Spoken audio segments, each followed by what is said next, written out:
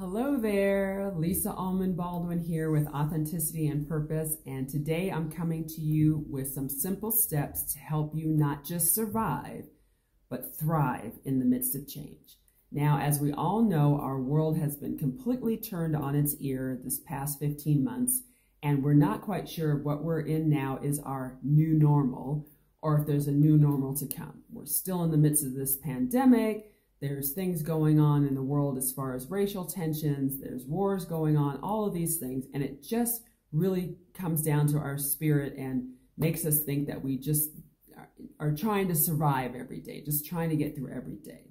But the truth is, no matter what's going on, no matter if we're in the midst of any of that or have things going on in our personal lives, we still can find ways to move through that in, in, in ways that are helpful and beneficial, especially for those of you who are meeting planners, board chairs, conference coordinators, key decision makers. Your, your whole way of, of working was completely blown up when this pandemic started. You were used to doing everything in person and all the different things that you had to coordinate, and you had to come up with a completely different way of operating. And I'm sure that you found some ways to do things. You may have done everything online. You may be already going back in person, but still your stress level may be a little bit high and you still want to find ways to thrive through this and not just survive. So I'm going to offer you my five simple steps for not just surviving, but thriving in the midst of change. So first step here is to take some time. What is preventing you from moving forward. Because when we're going through change, a lot of what we're going through is fear.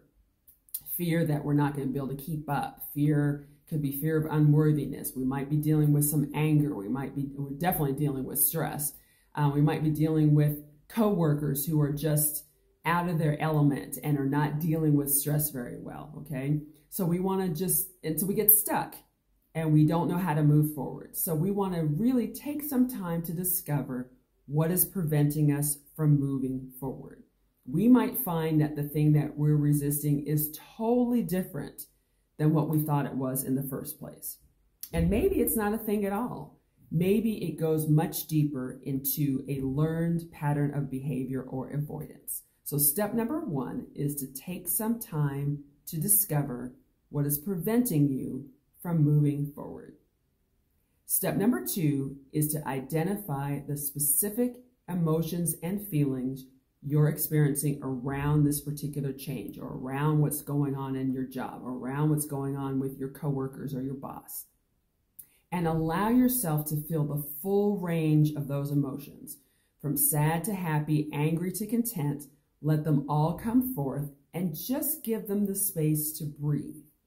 Don't try to, to analyze them or if you should be having these feelings and emotions or how to change them. Just let them come up. Just let them come up and see what happens and, and identify what's going on because we walk around all day with, how are you, Susan? Fine. How are you, David? Oh, I'm good.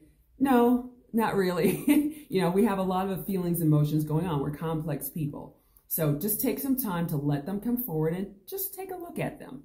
Don't, don't stress yourself about them. So that's step number two. Step number three is to share your emotions and feelings with someone you trust, someone who will hold sacred space for you and allow you to be heard.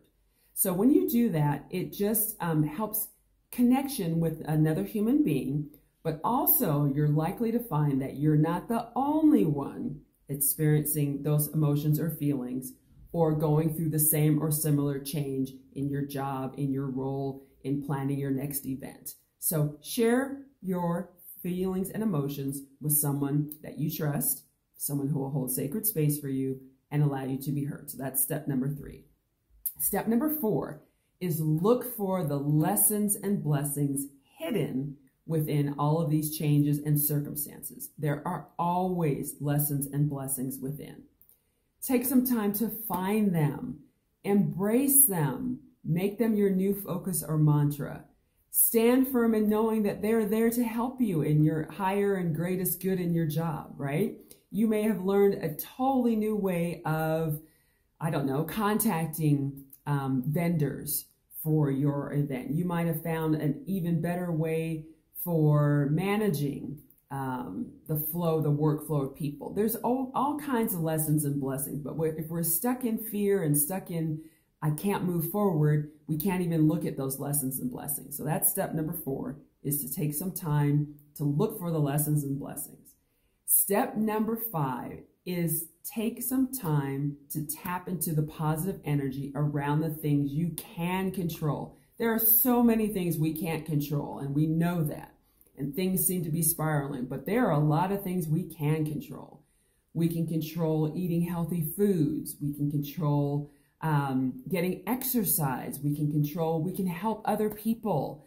Other people are struggling as well. There's always we can help. We can donate money to an organization doing wonderful work in the world. There's so many things that we can control.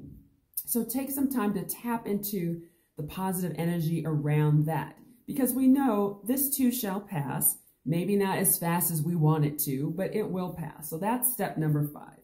So those are my five steps to help you not just focus on surviving, but thriving in the midst of change.